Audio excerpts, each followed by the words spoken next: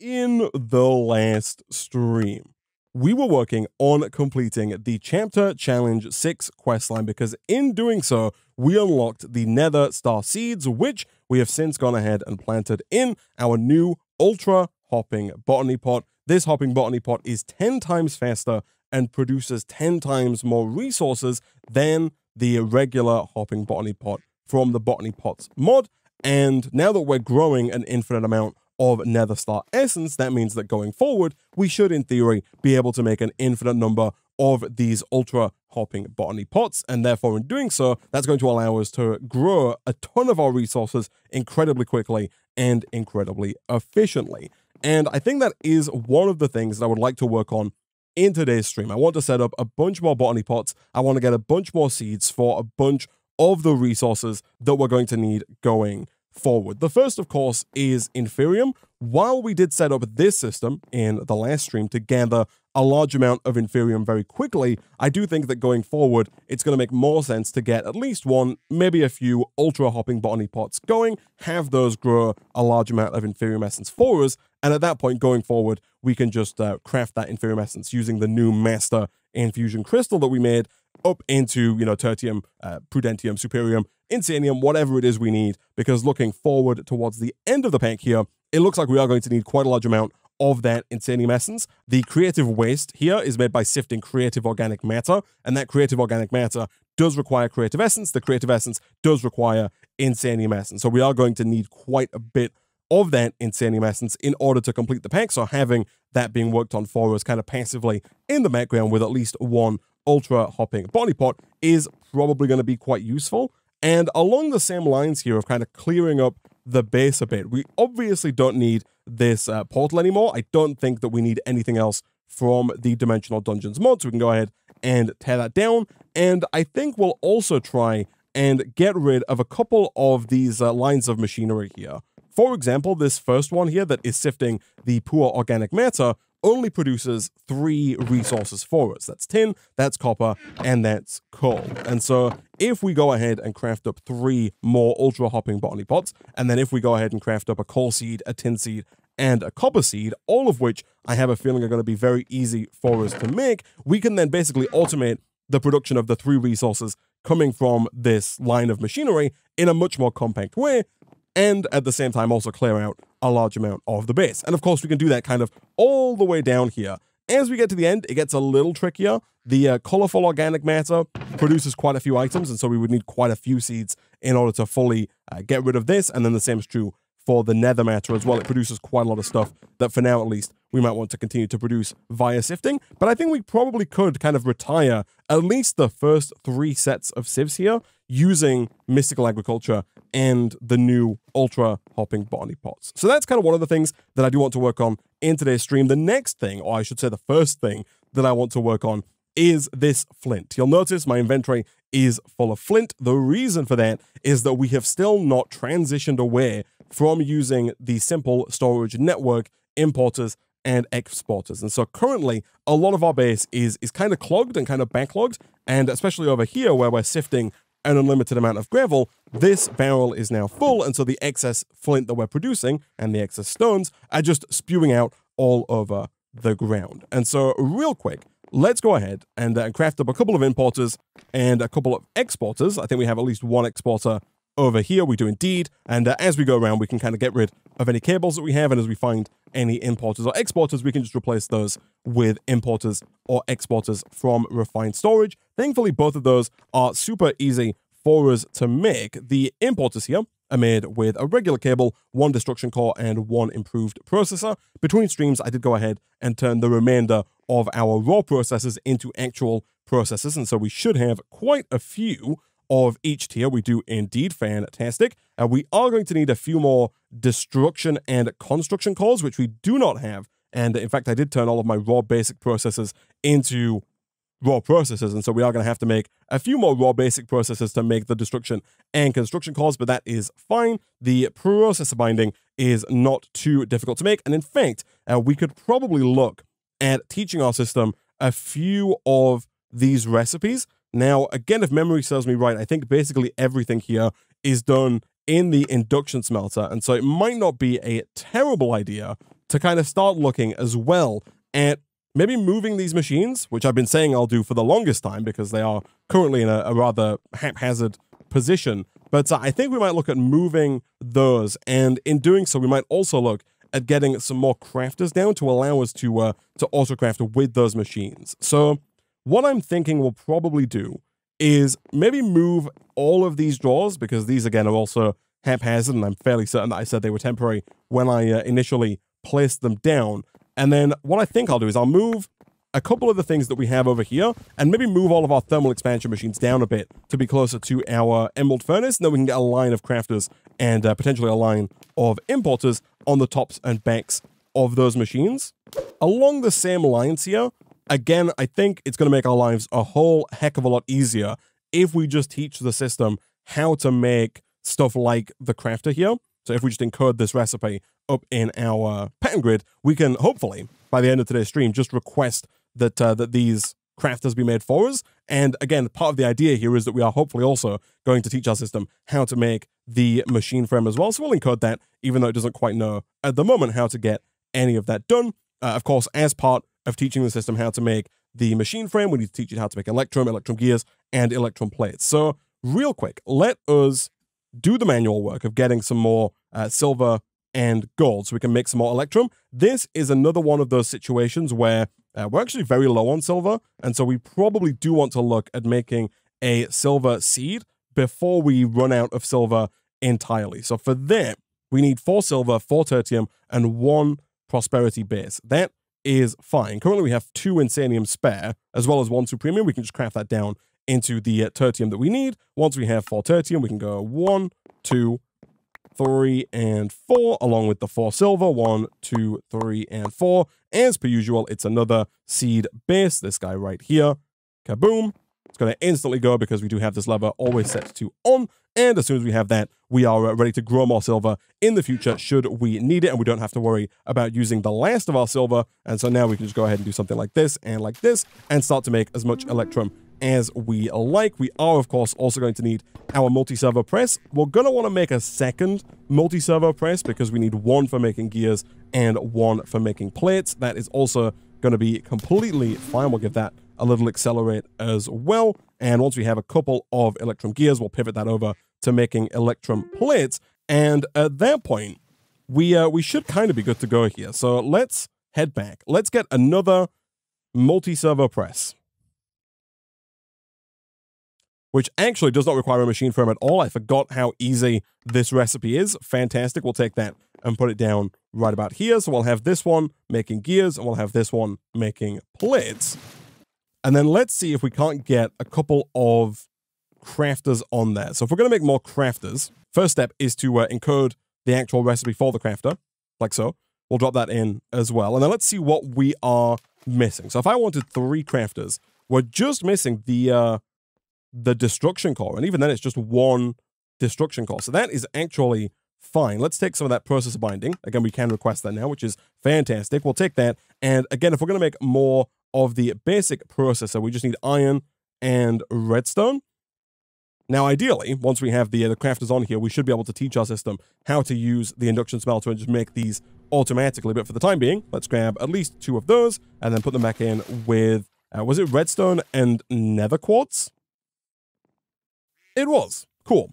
Once we have those, we can drop them back into the system. As per usual, our wireless crafting grid is out of power. Let's get our Tinker's Workbench back down on the ground for now.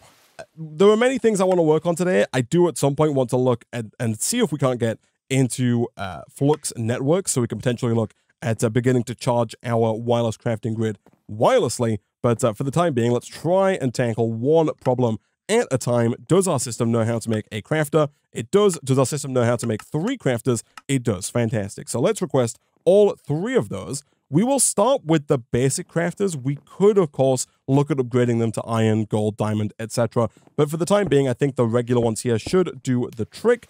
As per usual, they do need to face downwards. That's where our good friend the uh, wrench comes in. We can just rotate these to make them face down by right-clicking. And then they are going to automatically connect to the system because they're connected to the gold crafter. So you don't have to individually connect every uh, block via a cable. They can like connect to each other just through um, osmosis, I guess. But uh, now we need three more importers to allow us to import from the back of the uh, the machines here. Now, that's not necessarily true. One thing we could do here if we wanted to uh, to cheese the system a little bit and also save on resources is we could take this importer and break it. And then if we were to get some item pipes, we could extract from the back of all of these machines into one centralized chest.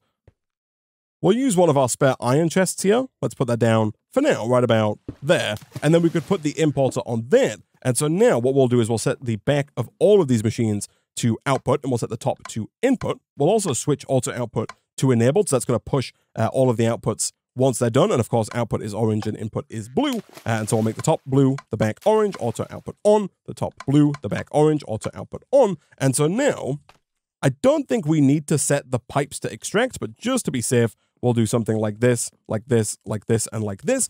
And now, whenever something is requested, it will be made, it will be sent around into this chest, and then it will be imported. And so that works in effectively the same way as putting an importer on the back of all of these machines, but it requires us to only make one importer as opposed to four, which is pretty nice. So let's see if we can't teach our system how to make an Electrum gear. That should just be a case of shift clicking the recipe in. Uh, here, I don't know why it's put 28 Electrum in. It only needs four set. And we also want to get rid of the gear working die because that is not something that it actually needs. You can shift left click to uh, get rid of an item from this grid. We can then encode. And now we've basically told the system that if you send four Electrum over to this machine, you will get back one Electrum gear. Let's go ahead and put that to the test. We will uh, take this gear out, click it, start, start, and let's have a look. We should see four Electrum in here. We do indeed. Once that is done, it should get extracted around into here and then pulled back around into the system. And boom, we have an extra Electrum gear. Nice. So now we just need to go through and teach it a ton of recipes. We need to teach it how to make Electrum plates. That one is fairly easy in code. We need to request some more patterns, which I do believe we taught our system how to make. We did indeed. Can we make like 20 of those? We can't. I'm fairly certain that we taught our system how to make glass, but for whatever reason, there's no pattern for glass in that crafter there. I'm not quite sure what happened with that one, but that is fine. Let's go ahead and teach it that sand equals glass. Now, of course, we do need a pattern to make that happen, so I'm going to quickly delete the pattern for Electrum plates. You can shift right click with a pattern to clear it. Uh, so I'll put this back in like so. We'll drop that in over here. That should now be able to make glass. And then the other thing we were missing is quartz enriched iron. The quartz enriched iron is also made in the induction smelter. So again, we do want to teach that recipe, that three iron and one nether quartz equals four quartz enriched iron. But before we can do that, we are going to have to actually manually make at least one more pattern here, which we can do. Fantastic. Let's do this. Encode, we'll place that in above our induction smelter. And so now I would assume that we should be able to make quite a few of these patterns. We can, we're just missing sand. Interesting. Okay, that's where we could take a slight pivot here because we did unlock in the last stream the Material Stoneworks Factory. This is normally a block that's craftable. However, Ben has decided that in this pack, it is not craftable, but we did get it as a reward for completing the Chapter Challenge 6 questline, and it's a pretty nifty block that we'll go ahead and we'll place down right about here, I think, for the time being. And it's going to allow us to produce sand very easily. So we can put it down, and the way it works is that you place lava and water into its internal tank. So water we have, let's just go ahead and right click that in like so. And then lava we should have a fairly decent amount of over in our ender tank. We'll right click that in as well. And then by default, it's going to produce cobblestone like so. So every time this finishes, uh, it uses 60 RF per tick. Every time this bar fills, it produces cobblestone, and then that cobblestone works its way through the four processes that we have at the bottom here. So there are a few different actions that you can set this to. There is smelting, which is what's happening right now. So cobblestone is being generated, it's being smelted, and then it's being smelted again, and then it would be smelted again if it was possible to, but you can't currently smelt smooth stone into anything. But uh, the actions available are smelting, crushing, crafting, crafting in the bigger way, and nothing. So what we want to do here is we want to take the cobblestone, hammer it into gravel, hammer it again into sand, and then set this to nothing. What that should do is that should produce cobble, should produce gravel, should produce sand, and then the sand will just stay there because we've told it not to do anything else with the sand after that point. From there on, what we can do is we can just set actually the back of this to extract. And uh, what we want to do in here, these machines work a little bit differently. Here, the sand is in the yellow slot, so we want to click on yellow, and then we want to set the back here to either push or enabled. I think any of those will work. And then we just set this to extract. We do want to make sure, I guess, that the green is set to do nothing on the back, disabled, and the blue is also set to do nothing on the back. We don't want to accidentally pull any cobble or gravel out. We only want to pull sand, but if we do this, that should start extracting the sand and sending it around into the system. Pretty cool stuff. And so now we have basically an infinite sand generation system, which is nice. It's going to continue to produce sand. Right now, we don't, I think, have a draw for sand. We don't. So let's go ahead and put down some sand like that. And we should definitely make sure that we put a void upgrade into that drawer so that if we do ever fill the drawer with sand, we don't then end up filling our uh, disk drive with sand as well, because we don't really need that much sand. And uh, once we have enough sand, we can go ahead and request the patterns that we just tried to craft. In the meantime, we can, of course, go ahead and steal some sand. Yeah, we got to put a stack of sand in uh, the pulverizer there, and that's going to get refilled instantly with even more sand and even more sand. So we do have a ton of sand that is being made, uh, but now we have a new way of making even more sand. For now, though, let's see. Can we get 32 more blank patterns? Start and start, we totally can. This guy is going to start making the quartz enriched iron. This guy is going to start making a ton of glass very quickly for us, which is very nice indeed. And of course, slowly but surely, we're going to get more patterns in the system. Uh, one thing you can do here, if we really wanted to, uh, to automate this fully, is we could get an exporter and place that exporter onto the pattern grid. So if we got rid of this cable here and just had an exporter going into the pattern grid, we could then export any new patterns that are made automatically into the pattern slot, this one right here, so that anytime we request new patterns, they're just automatically placed into the pattern grid ready for us to use. But again, before we get too ahead of ourselves, let's go ahead and teach our system how to make all of the different kinds of processor, those being raw, improved, and advanced. We'll then teach it how to take all of the raw processors and process those into actual non-raw processors. And then we'll also go ahead and teach it how to make the construction and destruction cores as well. So all of these are going to go in the induction smelter. We are running out of space in the induction smelter, um, but it looks like we have exactly the right amount of slots left. Oh, not quite actually. I was going to say we have the right amount of slots left because we have the uh, the destruction and construction cores. so we could encode both of those and and fill up the slots. But if we actually want this to work, we are of course also going to have to teach our system how to make electrum, the actual alloy itself, like this, and that also requires a slot in the crafter here. So what we might have to do then is potentially look at upgrading this crafter here to, at the very least, an iron crafter, which is super easy to do. It's four iron, uh, one crafter, and one chest. So we'll place that down like so, rotate that down using the uh, the old Rancherino. And boom, now we have enough space for all of our recipes. Speaking of which, uh, I think that our system is kind of almost good to go. Let's have a look. We can test it. If we wanted to craft, let's say, a stack of crafters, what are we missing? We're missing Scylla, we're missing silicon, and we're missing electrum plates. The electrum plates we temporarily got rid of, but that's fine. Now that we have more patterns, we can re-add that pattern over to here. The silicon, of course, we have, but it's in essence form, and so we are going to have to process that into actual silicon. And then the the final thing that we were missing was silver, of course, and that's where the silver seeds come into play. Chat is telling me that my processes are set up incorrectly here. Oh, they are. I'm not quite sure why the system is doing that. Usually it, it doesn't. It, it just puts in the right number, but it looks like for whatever reason, uh, the system has decided to, uh, to put the wrong number in. Thankfully, you can just put a pattern in the output slot, and that allows you to change it. Here, we want to change this to 1, set, and then click create again. That will then change the uh, inputs required. We can do the same here. Click, set it to 1, encode, and finally, click, set it to 1, re-encode. There we go. Thank you, chat for having my, uh, my back there. There we go.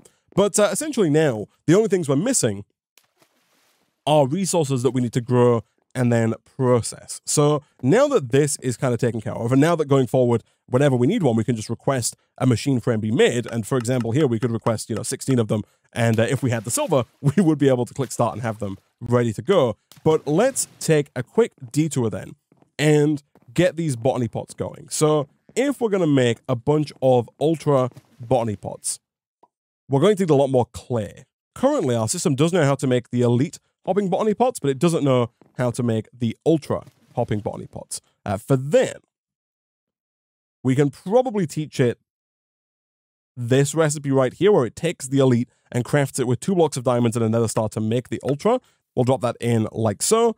And we could, if we wanted to, teach our system how to craft the essences here into the final item. So we could, for example, teach our system how to take the silicon and craft it like this to make actual silicon. But I don't think that's what we're going to do. Instead, I think what I'm going to do is use the crafters from RF Tools here to automatically craft all of the essences into their final product before they go into their own storage drawer. That way we can kind of take a little bit of the load off of the refined storage system and its crafting, because otherwise, if we started to to grow everything, if we had all of our copper, iron, tin, gold, redstone, diamonds, lapis, everything being grown in seed form, and then whenever we wanted something crafting, the refined storage system had to look at all of the seeds that we had, look at all the essences, craft them all into their item form, and then craft them into the thing that we actually want. While that would be fine and the system would be able to do it, it's a little bit more stress than is needed for the refined storage system, and it's just going to be faster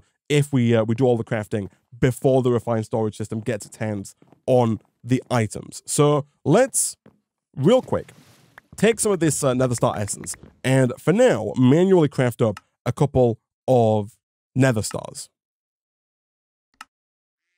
I think 28 is fine. I don't foresee us needing more than 28 ultra botany pots today. And so let's see if we wanted to make 28 ultra hopping botany pots. I think the thing we're going to be missing is clay. Yeah, in both brick and terracotta form. That should be kind of fine. Right now, we do have no clay, and we also currently don't have, I think, that much dust, although we do have a stack of dust ready to go there, which we could, of course, use. And I think that crystallizer will slowly but surely refill up with um with dust as well, which we could use should we need it. But uh, let's get some of this smelting into terracotta. And then let's uh, craft the rest down into clay and we'll smelt that into bricks. That's not quite going to be enough for 28 Ultra Botany pots, but it's going to be enough for us to get going. And so I think what we are probably going to do is get another compact machine like we have here. And I think what we can probably do here is move all of our ultra hopping botany pots into a compact machine and then potentially using ender chests, which much like the uh, ender tanks have been made substantially easier to craft in this here, we can move all of the essences that we're growing in the Ultra Botany pots in the compact machine back to the overworld for crafting into their regular item form. So let's see then, if we wanted to make, I'll bookmark this because we are going to need it, but if we wanted to get another compact machine, I think we could probably go with the largest compact machine here, that being the maximum size. It's a 13 by 13 by 13 inside. It does require 26 compact machine wall and a block of netherite with the uh, the standard rose gold ingot. So the machine wall also easy enough. We just need more rose gold ingots. Let's go ahead and uh, I feel like we might as well just teach our system how to make the uh, the rose gold ingots in the induction smelter. That's probably something we're going to do a lot of going forward. Whenever we find a new resource that our system doesn't know how to make, we might as well just go ahead and teach it how to make it so that we don't have to do that manual crafting in the future. For example, right here, uh, netherite is currently being made with scrap and gold. We can encode that, and uh, we might as well go ahead and encode the recipe for making a block as well. Drop those both in there, and then we can just request that netherite block, start and start, and we don't have to do any of the crafting whatsoever, which is the dream now, uh, if we're going to make that largest compact machine, I think it was 28. Never mind, 26 compact machine wall, which means we're going to need uh, four lots of this, so 16 rose gold ingots. Start and start. And then, of course, one more to actually finalize the craft, but we did already have three in the system, so that's going to be fine. And yeah, I think that's basically everything that we're going to need. So we can take these and uh, we can start putting this together over in our field projector, I believe that it was something like this. I assume that the block of netherite goes in the center. And then once it's built, we throw the rose gold ingot at it. And boom, we have a compact maximum machine. Nice. So, uh, we do not need these chests here. So we could probably look at getting rid of those sooner rather than later. Although, to be honest, it doesn't really matter where we put this compact machine. If we're going to be using ender chests to move all of the items out of them, we can kind of put this really wherever we like. And so, um, at least for the time being, and we can also move it, of course, in the future as well. For the time being, I'll place it like right here, just kind of out of the way. And uh, if we grab our personal shrinking device, we should be able to pop on through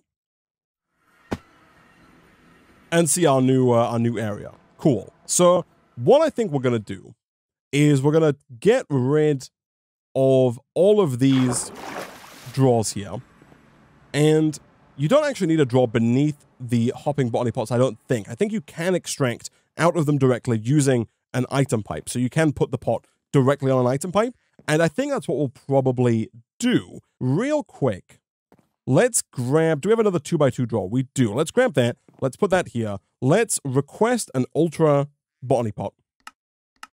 And let's place that down here. The reason I'm putting that down here for the time being is that we desperately need some more silver.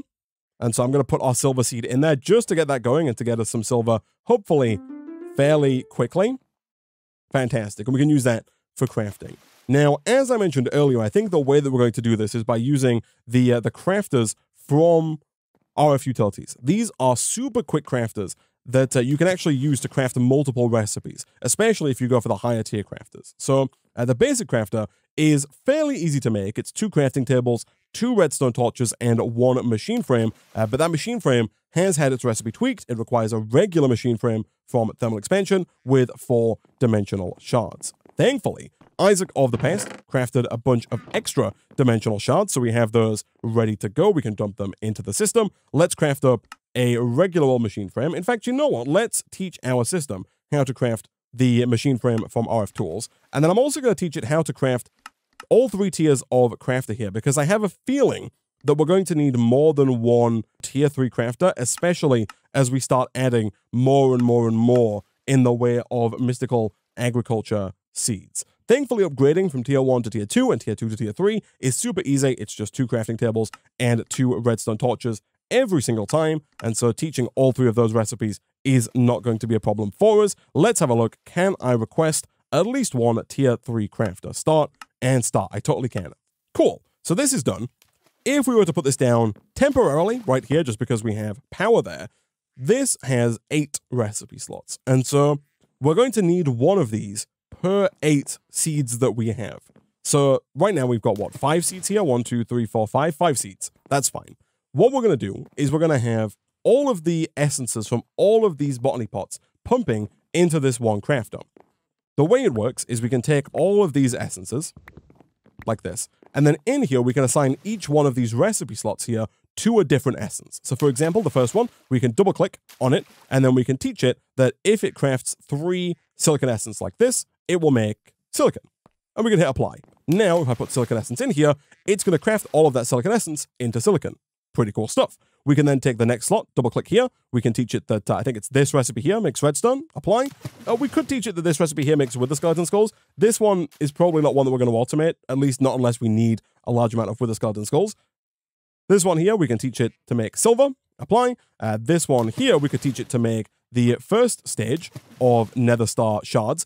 And this is where the crafter really comes into its own because the crafter has a, couple of options that allow us to put these nether shards back into the input slot as opposed to sending them to the output slot here. So uh, right now you'll see that uh, this second option is set to EXT and it says results of crafting operation will go to output buffer. If we click that, we can change it to the results of out, uh, of crafting operation will stay in the input buffer.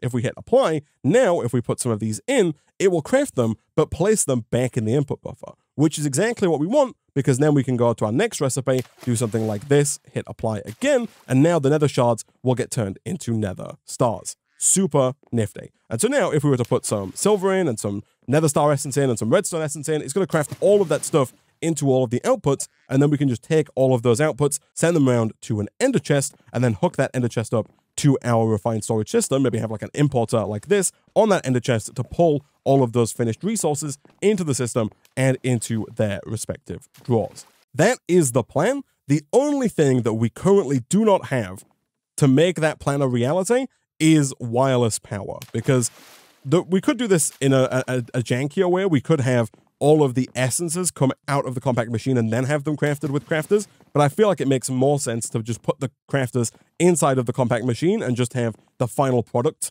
come out of the compact machine. Now, if we want that to happen, we need a way of getting power into the compact machine. And whilst we could do that with tunnels, we could put an energy tunnel on the bottom of this and then run an energy pipe in there and then run a pipe from the inside of the compact machine over to wherever we end up putting the crafter. That's a very crude way of doing it, especially when we have access to such a powerful mod like Flux Networks. So as I mentioned before, Flux Networks is a super powerful mod, but a very simple mod that allows us to wirelessly move our redstone flux power around the base. The very basics of the system are the flux plug and the flux point. The flux plug receives energy from adjacent blocks, so you put the flux plug where your power is being generated. The flux point delivers energy to adjacent blocks, so you put this onto the machine that you want to receive power. They're both made in a fairly similar way. I'll bookmark both of them for the time being. The flux plug is made with four flux cores and one flux block. The flux block is made with more flux cores and some flux dust. The flux cores are made with flux dust, obsidian, and an eye of ender. And the flux dust is made in this pack by pulverizing dimensional shards. So it's really good that we made an excess of these. The flux point is made in a very similar way, but instead of requiring that flux block, it's just a block of redstone, making these a lot easier to make. So basically, uh, our first port of call here is going to be to get a pulverizer because we actually do not have one. Again, this is another recipe that actually isn't going to be too difficult, I don't think. We just need another copper hammer, that's fine. We need some more glass of all things. Yeah, we can go ahead and request, you know, a stack of glass. Hit start on that. That's going to come in nice and quickly. That should get us a, a flux hammer just as soon as that fourth bit of glass comes in. Fantastic. And then we need two bronze gears. Right now, we actually don't have that much bronze, but as per usual, we can go ahead and teach our system how to combine the copper and tin to make bronze, encode, drop that above the old induction smelter. And while we're at it, I feel like we might as well go ahead, and this is not right at all. This makes, um, again, I don't know why it's pulled the amount of bronze that we have in our system and use that as the base for the recipe. I don't know if that's a bug or not, but this should be uh, four bronze encode. But uh, we might as well, whilst we're here, also just teach our system how to make the uh, the bronze gear as well. Again, for some reason, it's decided to put six in there. That's not correct, but uh, it's thankfully a very easy thing to rectify, drop you in. And then uh, what we can do here is we can just uh, control click to request those two bronze gears be made. And boom, there is our pulverizer. So we can get rid of this for now. We don't need to keep this uh, crafter here. We're going to move that, of course, through into the overworld. Instead, we can put down our pulverizer, and if we grab another crafter, we can uh, use that crafter and then teach our system, I guess, how to turn the dimensional shards into flux dust, which I think is going to be useful for us because I think we are going to want to teach our system how to make the flux points, and uh, that way in the future, should we want to add any new machines to our flux network, we can just request a flux point, place it down onto whatever machine needs power, and it will start getting power from our kind of main centralized power system, which is, is going to be ideal. So we'll take this. Uh, this one is going to require a cable because it's not going to be connected directly to the other crafters. And so even if we rotate it to point down, it's not going to go online until we do something like this, at which point we can, of course, teach our system how to make the flux dust encode, and we can place that in the bank here, making sure to set the top as input, the bank as output, also output to enabled, and of course extract from the bank. Nice. While we're at it, I feel like we might as well go ahead and teach our system how to make uh, the actual flux point and the actual flux plug. That is going to require the flux block, and it's going to require the flux core. It's also going to require an eye of ender, which shouldn't be too difficult. I believe we might have some blaze powder. We do. We got a ton of blaze powder. Fantastic. The only thing we don't have there, and the only thing our system doesn't know how to make, is obsidian, right? Yeah, we got four obsidian, which is enough, I think, maybe to make the first flux plug. but it's definitely not enough to make the extra flux cores. Thankfully, again, that shouldn't be difficult for us at all. Now that we're making excess lava over in our compact machine, we can go back to placing water directly above this stone barrel here. Again, if we do something like this to keep the water in place, if we get rid of that and put the water down like this, uh, not like that, if we put the water down like this, what we should then be able to do is extract via an item pipe round into a storage drawer. I would like it to just be a regular old storage drawer. Like so. And just like we're doing with the clay over there, I think if we were to get the uh, highest tier of item pipe, we should be able to make a very large amount of obsidian very quickly. Yeah, look at that. That is going to start to rip through the lava that we're producing. And so temporarily, I'm going to turn this off just because I don't want to use all of our lava at least not until we upgrade our botany pots in here from elite to ultra, at which point I think we'll be producing way more than enough lava, even if we run the obsidian thing uh, full time. For now, though, let's drop that in the system, and let's see, can we craft a, uh, can we request a flux plug? We can, and start. We'll also do the same for a flux point, and start. Those might take a second because the pulverizer is not particularly fast. Of course, as per usual, we can give it a quick bump with the uh, time in a bottle to make it a little bit faster. And if we really wanted to, we could also move one of our integral components over to make it even faster still. But uh, once that's done, I think we might have our first flux plug we do and our first flux point.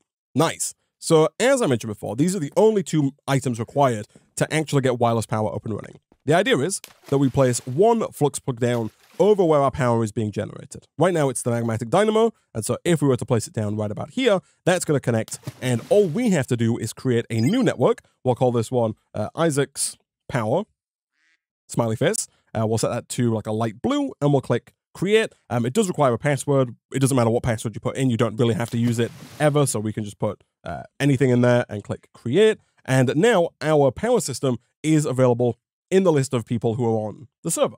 And so if we were to uh, click on that, this is now set to us.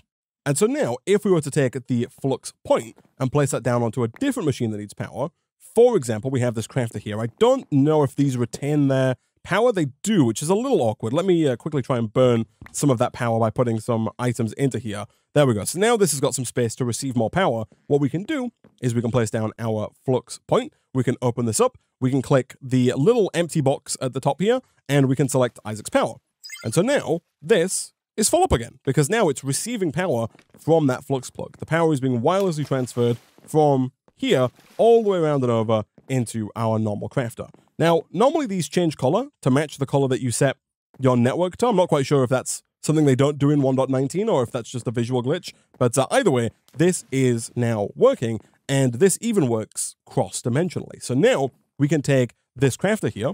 In here, we can place down our crafter, like so. We can place in all of our nether star essence. That's going to be crafted instantly into nether stars. And again, if we were to place down our flux point, like so, that's going to instantly refill this with redstone flux. And so now all we need to do is we need to craft a bunch of ultra hopping botany pots. We need to bring those over into this compact machine. And for every eight ultra hopping botany pots we have. We just need one crafter that we're going to send all of the essences from those eight botany pots to, and then we can process all of those essences into their final product, which we can then import via an ender chest. So, do we have what it takes to get a couple more of these botany pots? I think the answer is yes. Let's grab our seeds here. We can take these out. We can take silicon. We can take redstone. We can take wither skeleton. I don't think we're going to need. I'm going to put that away for now. Uh, we'll take nether star. We'll take silver. That's four. Let's see if we can't get four more seeds. So inferium seeds are definitely high on the list. Inferium seeds are a bit of a different kettle of fish though, because that one might require its own crafter. Because with the inferium seed, we want to craft it up uh, through all of the tiers, basically to insanium, and then we can use the refined storage system to kind of downcraft it from Insanium to whatever we need it. So uh, let's put Inferium seeds. I'll, I'll bookmark Inferium seeds because those do need crafting and setting up, but they're on the back burner. Let's get uh, copper seeds. Let's get tin seeds. Let's get coal seeds. And we'll do like iron seeds as well. Let's get these four seeds. That's going to take us up to eight. And then we can use our... Uh, actually, never mind. We can take iron seeds off because the Nether Star Essence requires two slots. And so for our first crafter, we're only going to need seven seeds. But let's get tin, copper, and coal going, and that's going to allow us to tear down uh, this setup right here. All right, so we've made the coal seed, the copper seed, and the tin seed, and I've also upgraded all of the elite hopping botany pots that we had here to ultra and crafted a few extra. So we now have seven ultra hopping botany pots. So if we were to head on through into our compact machine here, we can then grab, uh, ooh, our wireless crafting grid is out of range. That is unfortunate. I forgot that we don't yet have the, uh, the interdimensional upgrade for that. That's fine. Let's grab some cobblestone. Uh, we've got our item pipe. Let's grab a couple of pipe upgrades. We'll go with seven of these. And then let's also get ourselves two ender chests as well. And then that actually completes a quest line for us. Fantastic. Uh, we'll take some blue dye and we'll take some diamonds so we can lock those ender chests to us. So what we'll probably end up doing here is placing one of our ender chests down, let's say right about there. That's fine, actually. Uh, I was trying to put it one higher, but that's okay. And then we'll make this uh, white, blue, white, like that. And if you put a diamond on the little nose right at the front of an ender chest, that locks that uh, ender chest to you. So now, even if somebody else on the server used the frequency white, blue, white, they wouldn't have access to this ender chest because this ender chest is, uh, is only for me. So uh, we're going to do the same frequency over in here. But first of all, we're going to put down our seven botany pots. So we're going to start right up at the top of the room here. So let's do, this room is actually quite tall, but we might end up with a lot of botany pots in here. But let's do something like one, two, three, four, five, six, and seven, like that. So those are nice and central. And then we can go ahead and put all of our seeds in. Of course, in an ideal world, we would have Insanium farmland on all of these, but we don't currently live in an ideal world, unfortunately. And I'm pretty sure that we can't pick up the dirt over here. Like we can't pick up this Imperium farmland. I think if you try and pick it up without using Silk Touch, that it will just destroy the block. Like you just get dirt back. Yeah, which is less than ideal. You do get the essence back actually, which I guess makes it kind of fine. And so uh, we could, if we wanted to, look at making uh, some higher tier farmlands. And in fact, you know, we might as well do that. Let's quickly grab the uh, wireless crafting grid, which you will notice is still not being wirelessly crafted. Uh, the reason for that is actually fixable. Let me get rid of this uh, Tinker's Workbench. It was useful while we had it, but if we take a quick second to go back to Flux Networks, this guy right here, the Flux controller, enables wireless charging on your Flux network. Uh, now, it does look like we have basically everything it takes to make it, so I'll click start on all those. It's five Flux blocks, one Flux core, and two Flux dust. That is going to take a second, especially with uh, the Pulverizer not being the fastest machine in the world, but as soon as all of that is done, we can craft the Flux controller, and it doesn't really matter where you put this. So again, for now, we can kind of just hide it around back here. If we open this up, we want to make sure it's connected to our network. Then from there, we can go to wireless charging. We can click on the areas where we want wireless charging to be enabled. Uh, you can't enable it in your main inventory, but you can enable it in your curio slots. That is uh, these slots right here. And that is where we keep our wireless crafting grid. And so if we go to wireless, uh, wireless charging, we can select basically everything that's not the main inventory. Make sure you toggle the enable wireless button and then click apply. Once that's applied, what that's now going to do is it's going to take power from our flux plug, the one that's down over next to our dynamo, and it's going to transfer that wirelessly into our inventory, into any item that is chargeable in our inventory. In our case, that's the wireless crafting grid. And so now going forward, we should never again have to manually charge that using the uh, Tinker's station. We can just have it charged wirelessly for us, which is fantastic. So let's see if we can't get some farmland. Uh, in terms of essence, we do have quite a bit of it, but I think for the time being, the um the Inferium farmland is probably going to be more than good enough, especially given that our botany pots are are just so fast. So we'll get seven more of these. Of course, some seeds do require specific tiers of farmland, much like the Nether Star seed, and so in those situations, we are going to have to use whatever specific essence is required, but for everything else, I think just the basic Inferium farmland is going to get the job done. Okay, so never mind, it looks like you can't really use the Inferium farmland with a lot of these seeds, So I've put the uh, the tertium back in for the redstone and the silicon, but the silver, for example, here needs uh, at the very least, again, tertium. I would have thought that the coal would work with um, inferium, but no, it looks like it also requires at least prudentium. So uh, I guess let's take all of this inferium farmland out and uh, let's go swap that out for a higher tier of farmland. So uh, we'll drop all these down like this. Chat does make a good point, and we can just pick these up because I'll get us the uh, the essence back. Chat makes a good point that it looks like the uh, the seed requires uh, the farmland that associates with the essence that you use to craft it. So for the coal seeds, we use prudentium. Uh, for everything else, we used tertium. And so uh, we are going to have to get a, a higher tier essence for that. It's not going to be a problem because we do have this insanium here that we can downcraft into uh, into quite a lot actually of of tertium. And so for the time being, we might as well just make all of our farmland tertium farmland. Because apart from the uh, nether star essence, everything else can run on, on tertium. All right, so all of these are doing their thing, which is fantastic. They're all growing nicely. And so what we're going to do is we're going to extract from all of these down and around into our crafter. Now, there are going to be a few hitches here because the botany pots don't exclusively produce essence, right? They also produce extra seeds that we're going to have to get rid of, and they also produce the um the fertilizer as well, which is also something that we're going to have to get rid of. But that should be fine. So here we're going to set this uh, like this, and what we're going to want to do is we're going to want to make sure that we get one of each essence into the crafter, and then we can use this button right here. Remember the current items in the internal and external buffers, and that's going to allow us to basically designate certain slots inside the crafter to certain essences to make sure that there's always space for whatever essence needs to come in, and we don't end up, for example, filling this up with, you know, silicon essence, uh, leaving no space for something like nether star essence, which could potentially be the case. So let's set all of these to extract, like so. And let's also go ahead and put our ultra pipes in here. Very much so overkill at the moment, but uh, fine nonetheless. And then this kind of looks fine to me. Let me uh, quickly go back though. We do want to make sure that nothing goes in there that shouldn't go in there. For example, we don't want any of the extra seeds or any of the uh, fertilizer making its way in there. I don't know if it's going to go in there. I assume it would though. So what we probably want to do is that we can turn this off for now. We can say uh, on to activate. And then let's make sure that there is a slot for every essence. So that should be one, two, three, four, five, six, seven. That's almost correct. Uh, the only thing left to do is to get a slot for the Nether Star shards. Okay, so these are the eight items that we actually want to have a slot.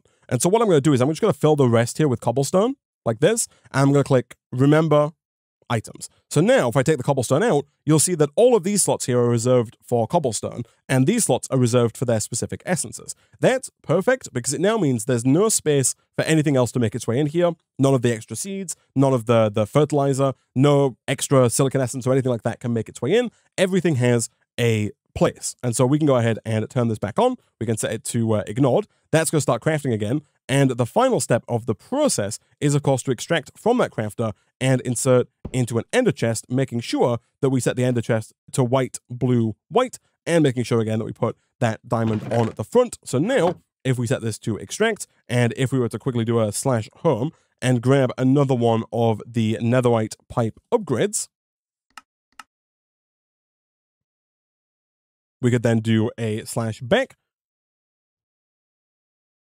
place that upgrade in like so, and now all of the resources that we produce are going to get sent down into that ender chest, and going forward, this should kind of just work. Of course, there are a few things here that we need to do. We need to teach it how to use the copper essence, apply. We need to teach it how to use the tin essence, apply.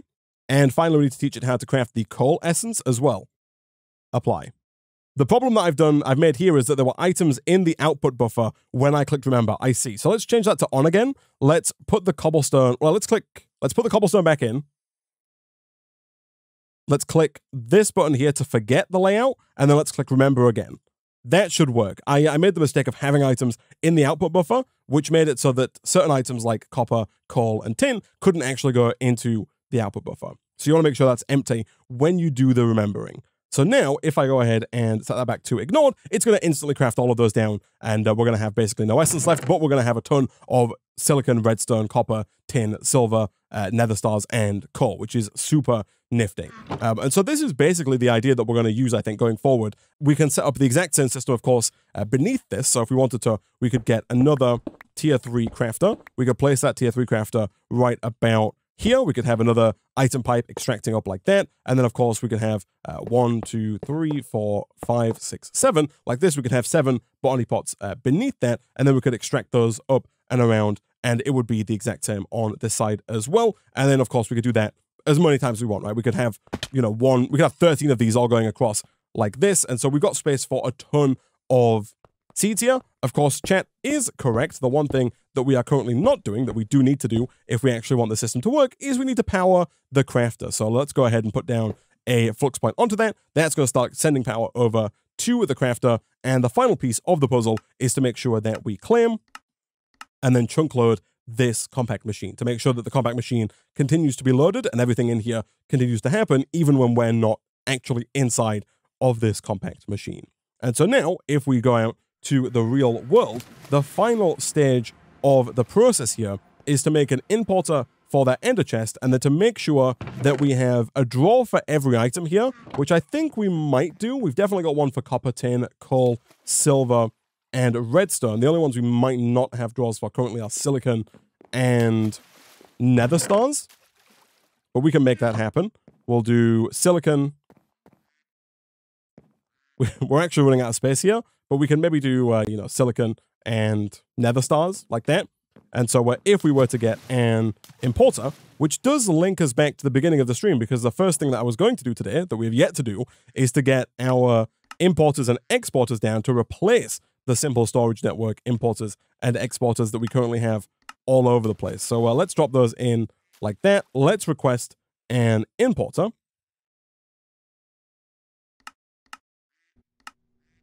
Once we have that, we can then place that, of course, onto our ender chest, and it's going to start to slowly but surely pull these items in. We probably do want to look at making some upgrades for this importer, because right now I think it's going to be too slow. The first one we can make is the stack upgrade. This is made with 5 sugar and 4 speed upgrades. The speed upgrades are made with quartz enriched iron, sugar, and the upgrade base. And I think this is one of those situations where, once again, I'm just going to teach my system how to do this. How have we managed to burn through all of our patterns? We have. Let's go ahead and request another half stack of those. And as they come in, we can continue to encode these recipes like so. We'll encode that. I need one more pattern here. And once I have that one last pattern, we can then teach the system how to make the stack upgrade as well drop those in like so. Sugarcane, I think we actually have none of. Is there something here? That is fantastic. I was going to say, I thought we did have sugarcane somewhere on the island. Let's go ahead and move that for now, just like right about here. Although we do want to make sure we get draws for all of these as well, so we can actually use this stuff going forward. But uh, there's the sugarcane. Can we get a stack upgrade? Start and start. That might take a second. There's a fair bit of uh, induction smelting involved in getting that, but essentially, as the name suggests, that's going to change the way the importer works. By default, it imports one item at a time. Putting a stack upgrade in changes it so that it starts importing a stack of items at a time, and then you can take it even further by adding speed upgrades on top of the stack upgrades to allow it to start pulling stacks very, very quickly, which is going to be ideal for us. Now, um, one thing you can do here, by the way, is we can make a, a crafting monitor, I believe it's called. This one right here. The crafting monitor is going to be a screen that lets us see what current crafting recipes we are uh, we're waiting for. So real quick, let's get some sand requested, and then let's do this and request all of the stuff be made so that we can actually make the uh, crafting monitor. This is super useful. The crafting monitor allows us to see what crafts we're currently waiting to complete. So I think what we'll do is we'll move the lapis drawer over to the end here because we have a, an empty drawer that's not doing anything. So we'll put that like that. Uh, we'll put this in the system for now. We can always get that back out in the future. And then the crafting monitor can go down right about here. And now if we open this up, we'll see any pending crafts. Currently, we don't have any pending crafts, but we can kind of get an idea of what it is that's holding up a given craft. Um, so if I were to request, for example, another stack upgrade here, which we currently can't because we're missing iron of all things, that is worrisome.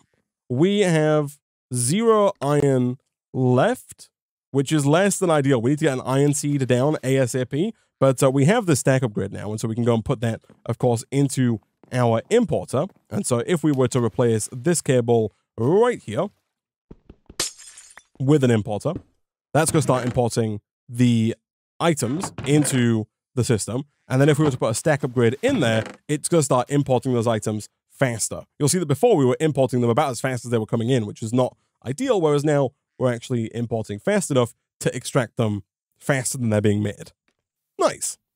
We should have, I think, yeah, some raw iron ready to go. We do indeed. So we can get more iron, but again, much like with our other resources chat, I think it's going to be in our best interest to just get an iron seed and then look at growing the iron over in our compact machine with potentially another tier 3 crafter. In fact, what I might go ahead and do here is uh, take a quick look. We can unbookmark most of what's over here. Uh, if we look at the organic matter, we have the poor organic matter that produces coal, copper, and tin. We are growing all of those. That's fine. Uh, next up is the improved organic matter. That produces iron, aluminum, and nickel. And so I'll bookmark those three because I think we'll look at getting iron seeds, aluminum seeds, and nickel seeds. And at that point, we can just get rid of our improved organic matter sifting system. Next up, after the improved organic matter, I believe, is the colorful organic matter. This one is where things. Uh, oh, that's not correct. Next up is the skulking organic matter. This one is intriguing because it produces echo shards. Actually, never mind. I thought we might need the echo shards to get the next tier of, of stuff, but I don't think we do, right? The echo shard is just needed because we need echo nuggets, but the echo nuggets are only used to make skulking transformation powder. And the skulking transformation powder is only used to make the skulking organic matter, which again is used to make more echo shards. So I don't think we need that. I think we can bookmark gold and silver, and we can get gold and silver ingots, uh, gold and silver seeds going as well. Obviously, silver seeds not required. We already have those uh, ready to go. Enderman seeds, we can get those as well. They're going to be a little trickier because they do require the soul jars. However, we have the soul extractor and we have a bunch of ender pearls already, so we should be able uh, to do those in the same way that we did the wither skeleton seeds. Thankfully, unlike the skulking organic matter, which requires the previous tier transformation powder to make it, uh, the colorful transformation powder doesn't require the skulking transformation powder. So we don't need those echo shards. Now, we could then start looking at the products that we get from the next tier here, from the colorful organic matter. Redstone dust we're already growing with the redstone seeds, and then uh, emeralds I assume we can grow, lapis we can grow, diamonds we can grow, fluorite we can grow, prismarine we can grow, and we can actually use that prismarine essence to make both prismarine crystals and prismarine shards. And so that's one, two, three, four, five, six, seven, eight, nine, ten seeds there. So that's more than eight, which makes me think that we could then look at the nether organic matter. So this one, prosperity shards you can't grow. However, I don't really think we need a ton of these, and we probably have a lot already. Uh, gold we're already getting. Mushrooms and mushrooms we don't need to grow, right? Nether quartz you can grow. There's another quartz seed. Let's bookmark that. Netherite, I believe we can also grow. Yeah, there's a netherite essence that it makes just netherite ingots directly. So we can also get netherite seeds as well. Glowstone has a seed. Soldust doesn't have a seed, but I don't know if we're going to need a ton of it going forward. It's not used to make a ton of stuff. Like, I don't think we're going to need loads of it to finish the pack. And so I think these 13 seeds here are going to allow us to get rid of basically all of our organic matter production. Like, this entire setup here, I think, can be taken down if we just craft these 13 seeds. Okay, so I've made most of the seeds here, at least all of the lower tier seeds. The only ones I've not made are the Enderman seeds, because we need to use the uh, soul extractor. And I've not made the emerald, diamond, and netherite seeds, because these all require supremium essence, and we just don't have the essence. I've used our insanium essence to make imperium essence, and uh, we just don't have enough supremium to make these seeds. And so this is where I want to come back to what I mentioned earlier, and that is the Inferium seed. So what I am going to do is I'm going to request another tier 3 crafter, start and start. And what we're going to do is we're going to use one crafter to automatically craft our Inferium all the way up to Insanium. Because now that we have the Master Infusion Crystal, automating that should be pretty straightforward.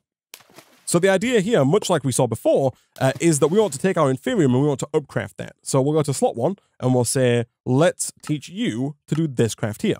Now, in this scenario, we basically want all of the essences to go into the input slot, right? So apply, I want to make sure that that there is a master infusion crystal and apply. We'll then go to step two and we will teach it how to use the prudentium essence to make the tertium like this. Again, make sure it's a master infusion crystal, make sure it's set to input, apply. And then we're to do that all the way up the chain, going from tertium to imperium, from imperium to supremium, and from supremium to insanium.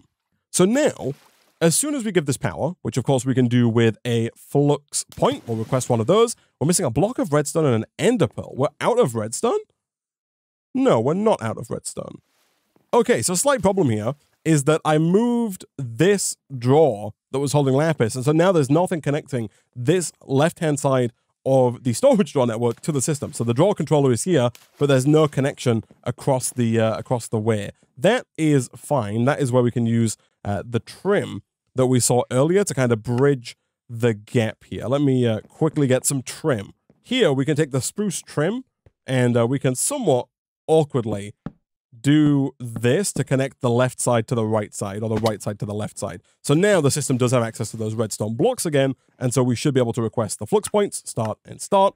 And as soon as we get power to this guy, we should just be able to start pumping the inferium essence in, and it should get started, uh, and it should automatically just start downcrafting that inferium through to tertium, imperium, supremium, and into insanium. We can now see in the uh, crafting monitor what's holding us back. So you'll see that we are uh, currently waiting on flux dust by the looks of it. And yeah, you'll see that the pulverizer there is what is holding us back. And then once that's done, the whole craft is done. So it's a nifty little thing to have to see what it is that's holding you back. Once we have the flux point, boom, and boom, set that to us. This is going to get going and should, in theory, oh, of course, as soon as we put the master infusion crystal in, get to work. Now, I might have done this incorrectly because I think this might put, oh no, this is fine.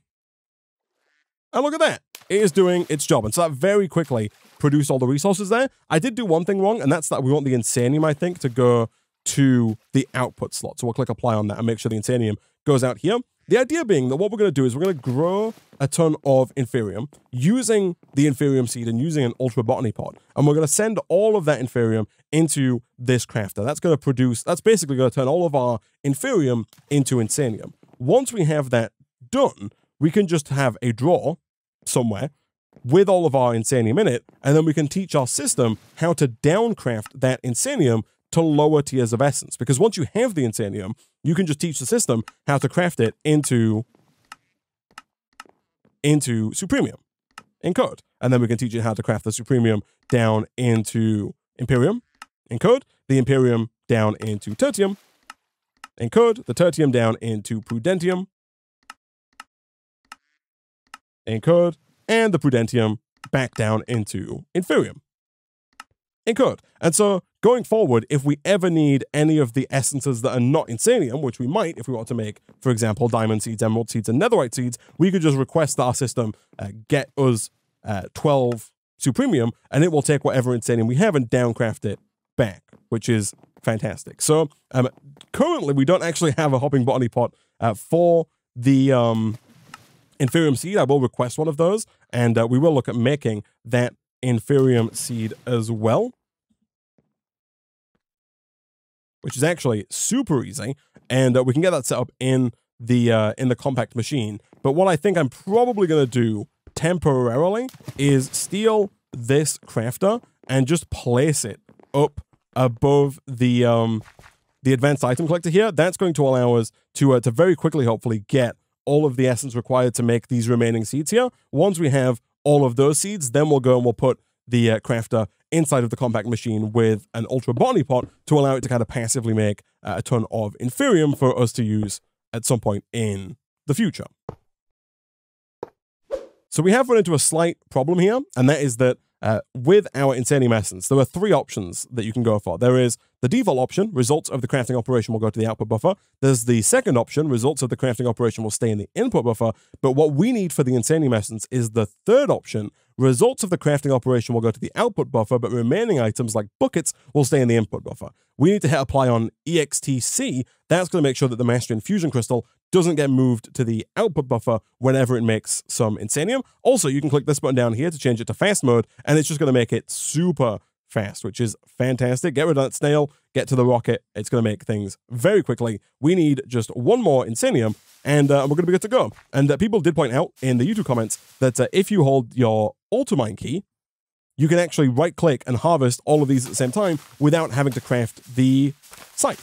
All right, so a little while later, we've got down two more crafters. I've decided to just put them in front, uh, of, in a line of the previous crafters so that we can uh, share the flux points. So this one here is sharing the flux point of the last one. We've got down all of the ultra hopping botany pots. They've all got their correct tier of farmland. They're all going around into their crafters and they all have been set up to craft their specific essence into their specific item. And so I think that we pretty much should be good to go here. I think all I need to do is set all of these to extract and then run these pipes down around over to that ender chest. So extract, extract. Let's get our ultimate pipe upgrades here and here. And then let's just go ahead and uh, if we have a bit more in the way of cobblestone, in hindsight, I shouldn't have built these so high up, but uh, let's do this and this.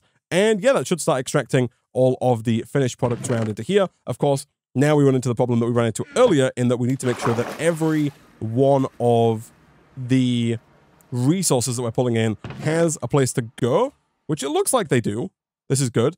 Um, and we also need to make sure that uh, they have void upgrades on them, which reminds me, I think the next and maybe last seed of the day that we should make is uh, obsidian seeds. Obsidian seeds are going to make our lives a whole heck of a lot easier because they mean that we can just kind of give up on using this as automation and we don't have to rely on our infinite source of lava. Instead, we can just take four obsidian, we can take one prosperity seed base, and we can take four tertium essence. Uh, Twitch chat did point out a rather helpful tip earlier, and that is that uh, if you just look at the seed in JEI, it tells you the tier. Tier 1 uh, being Inferium, Tier 2 being Prudentium, Tier 3 being Inferium, Tier 4 being Imperium, and then Tier 5 being Supremium, and I guess Tier 6 is also Insanium, but uh, it's just an easier way of seeing without having to look at the actual recipe. And so uh, do I also have what it takes to get one more Ultra Botany Pot?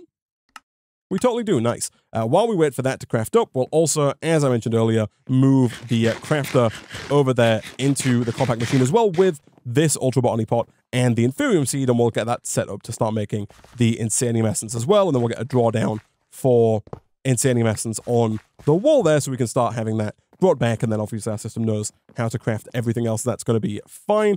Is that Ultra Pot ready to go? It is indeed fantastic. Back in here, let us nerd pull back up. We'll put the obsidian pot right about there. Uh, I do need to make sure I go back and get some farmland for it, but that's fine. I think we have some tertium farmland lying around. We totally do. Fantastic. Boom. All right, apply. So that should work as well. There it is. Fantastic. So the obsidian is now also being made. I did the quick thing where I forgot everything and then re-remembered it as well to allow the obsidian essence to make its way in there. But I think that this is almost good to go. The only thing standing in our way now is the um the extra resources that we don't want. So um things like the seeds and the fertilized essence. If we do a quick slash home, I'm being told by the Twitch chat that we should be able to use a trash can for this. So the trash cans are easy to make, and it looks like they have the ability to be filtered. So in here, there is a filter that we can set to whitelist, and I just want to check something here before we actually uh, pull the trigger on this. If I were to do this, set this to extract and put in an ultimate pipe upgrade like that, this right now, will that take anything I put in here? It won't. Interesting. So if I were to add Enderman seeds to the whitelist, if I put gold seeds in there, they don't go in. But if I put Enderman seeds in, they get deleted. That is fantastic. So we're going to need a few trash cans because we have quite a lot of seeds uh, available to us, but that is completely fine. And so I think the uh, solution here is to take these trash cans. So we just want to take these trash cans and I guess put one down at the end of each line, right? So we can take this and uh, and we can put it down over at the end here. We'll set it to whitelist, and then we will uh, we'll need to take the seeds, which I think I probably just deleted all of them because they probably got deleted very quickly, but they'll come back fairly shortly here. Let's do the same thing. Uh, if we don't die from fall damage, let's uh, do the same thing over here. We'll put one down like this. Make sure it's set to whitelist. Put one down here like this. Make sure it's set to whitelist. And then we're just going to whitelist the seven seeds and the fertilizer on each one of those. And that should allow us to uh, to go through and just delete any excess seeds, any excess fertilizer that's produced. That should mean that these never back up. So this internal inventory here never backs up. So the essences are always produced, always sent around to the crafters and always crafted into their final form. And of course, then sent back around into the overworld. Real quick, I am going to make sure we get a, uh, a draw for obsidian. We can put the obsidian maybe here for now. And, uh, and that should hopefully hold on to that. And yeah, I think once we get a decent amount of obsidian, we could then look at just getting a bunch of void upgrades. This is one of those things I feel like we should just teach our system how to make these, uh, especially the upgrade bases. That seems like a sensible thing to teach our system how to make. Uh, let me get a bunch of planks. Let's teach the system how to make, I think it already knows how to make chests. It does. Let's teach it how to make the regular storage drawer, that being this one. And then we'll teach it how to make the upgrade template, but using the uh, regular spruce drawer in the middle there. We'll encode that as well. And then finally, we can teach it how to make the void upgrade like that. Drop all three of those into here. And yeah, now we should be able to request those void upgrades really whenever we like. Can I get uh, maybe 20 of those? I can't. I don't have enough obsidian, but if I want 10, I can make 10.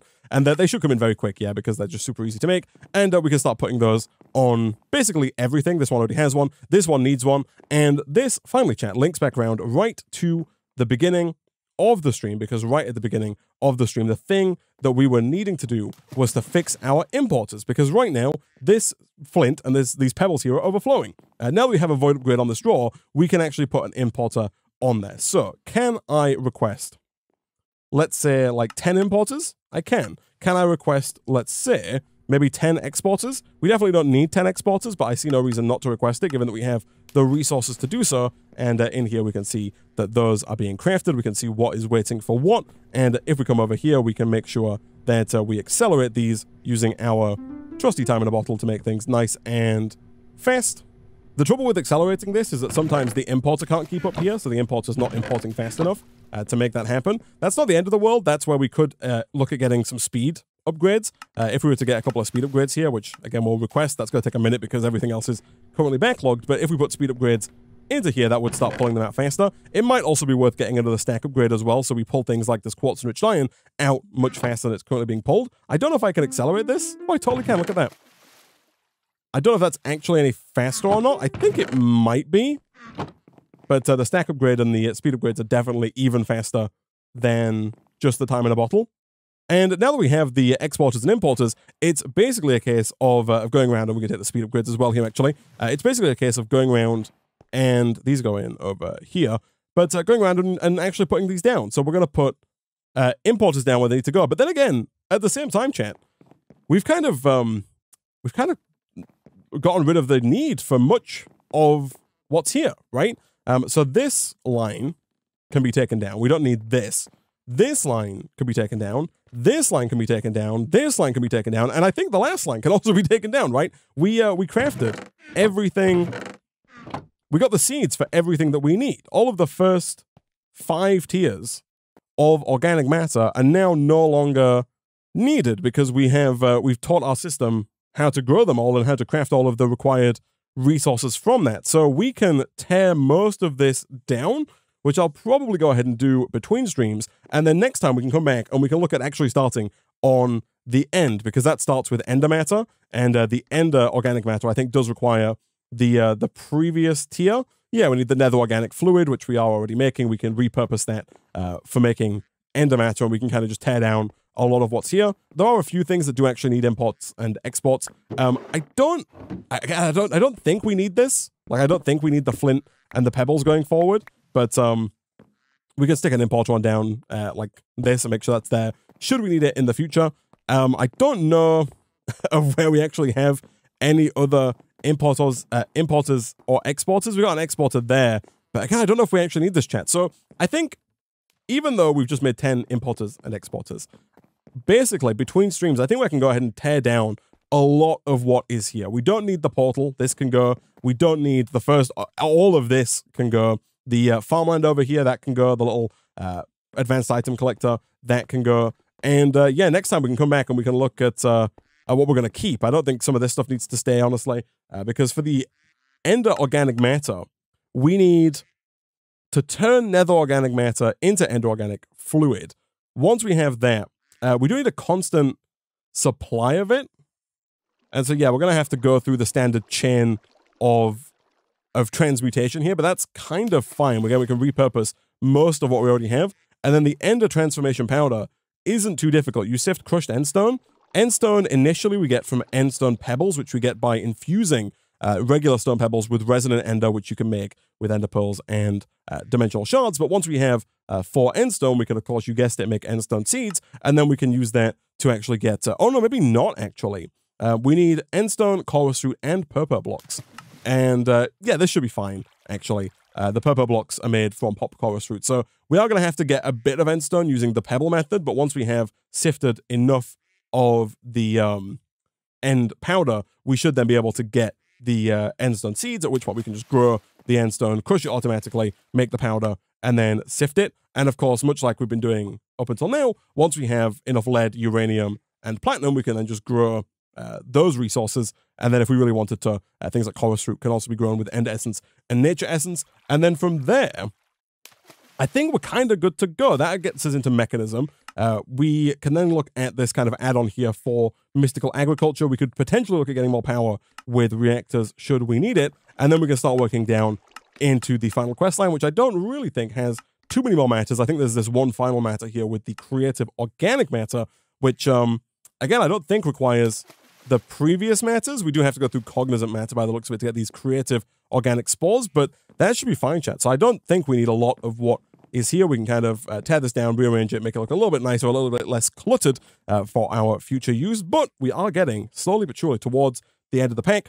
We now have wireless power. We now have infinite resources coming in. And uh, I guess actually the last thing that I did not do, chat, that I'm going to do real quick is uh, is actually get that um get our uh, essence coming in because that would be a foolish mistake. Let me do this. We'll put the new crafter and by the new crafter, I mean the old crafter, like that. And then we'll get down our... People are saying, people were saying that we might only be able to extract from the bottom of a botany pot. I don't know if that's true, but we're about to find out. If I do this, can we grow our Inferium seed in there? That is the question. We might as well make a fairly high-tiered farmland, given that we only need the one farmland. Boom, boom. And we'll give that a quick acceleration and we'll see if that actually extracts. It looks like it doesn't extract. It doesn't. Okay, that's fine. It's going to look janky, but you know what? We can do something like this. We can do this.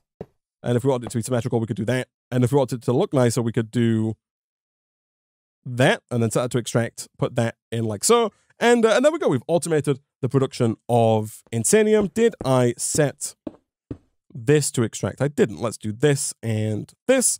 And then uh, we also do need to draw for Insanium when that finally comes in, but that is good to go. And uh, people in the Twitch chat are reminding me of one final thing that I did try and do earlier, and that is uh, put down an exporter onto the pattern grid. That's over here somewhere. Let me get rid uh, actually, yeah, okay, real quick. Let me get rid of the um, the trim here. That trim does need to be there. But uh, let's get rid of that. Let's put an exporter on... Oh, I've put this in such an awkward place. Okay, let's take this. Let's move you. We're going to put an exporter on the pattern grid, like that. We're then going to put the importer that we just had back down on the ender chest like that. We can then reconnect that all up like this. And then I think we can, at this point, safely get rid of this cable. Because I think we can finally say goodbye to the simple storage network. I think it's no longer required, so we should be able to get rid of this guy. And of course, the cable underneath it, that being this one here and this one here. we can put the external storage down like that, and then just use some regular cable to run that up to our controller. And so now we no longer have that uh, horrible cable running around the uh, the front here, which is fantastic. Our exporter is ready to go. Uh, the trim we can put, I think, just under the floor here. Like so. That's going to make it look a little nicer on the other side.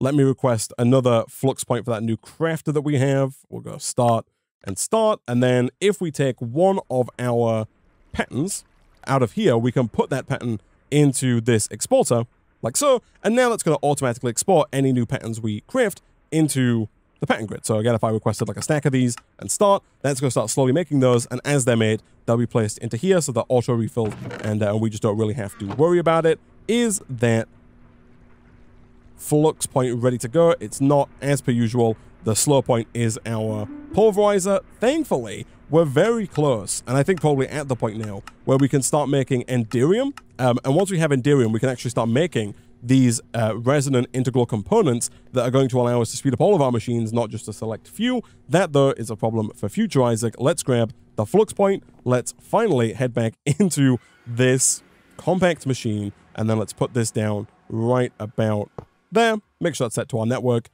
And boom, that should be good to go. That should, uh, that should start producing more Insanium Essence for us. And yeah, next time we'll come back, we'll start working through the uh, end quest line. I think we should be able to work our way through quite a few of these uh, quite quickly. And, uh, and then finally, of course, we'll set our sights on the real end and, uh, and see if we can't wrap things up. But for now, I'm going to go ahead and wrap up this episode of Seaopolis there.